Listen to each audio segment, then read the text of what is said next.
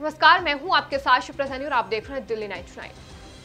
राजधानी दिल्ली के ज्योतिनगर इलाके में एक डबल मर्डर से सनसनी फैल गई है। दरअसल बताया जा रहा है कि ज्योतिनगर में 30 मई की शाम एक बॉडी बिल्डर की गोलियाँ बरसाकर हत्या कर दी गई। तो वहीं उसके बाद राह चलते एक नागरिक भी इस गोलीबारी में घायल हो गया और जब उसे अस्पताल में भर्ती कराया गया तो उसकी मौत हो गई।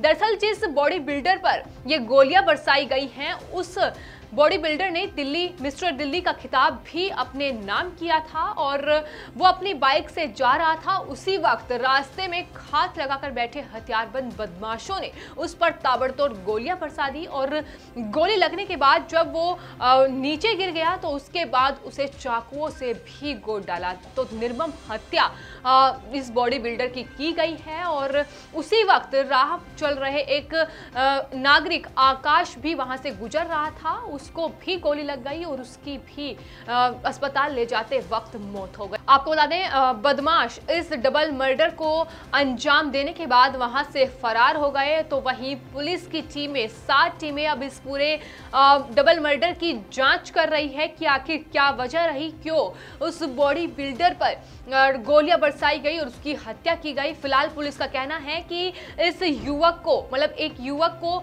निशाना बनाया गया था और उसी की वजह से वहाँ से गुजर रहे आकाश नाम का युवक भी उसकी गोलियों का निशाना बन गया और जिसकी वजह से उसकी भी जान इस पूरे हमले में चली गई है। लेकिन फ़िलहाल क्यों इस घटना को अंजाम दिया गया है और क्या वजह रही? फ़िलहाल पुलिस गैंगवॉर मानने से इसे साफ़ इनकार कर रही है। आपको बता दें, जो बॉडी बिल्डर था, वो मिस्टर दिल्ली भी रह चुका है और अपनी बाइक से वहाँ से गुजर रहा था और उसी वक्त उस पर गोलियाँ बरसाई गई और बाद में उसकी चाकू से गोद कर हत्या कर दी गई। फ़िलहाल इस पूरे मामले की पुलिस जाँच कर रही है और आने वाले वक्त में पुलिस का कहना है कि इस मामले को सुलझा लिया जाएगा। और अधिक खबरों को जानने के लिए सब्सक्राइब करें दिल्ली नाइन।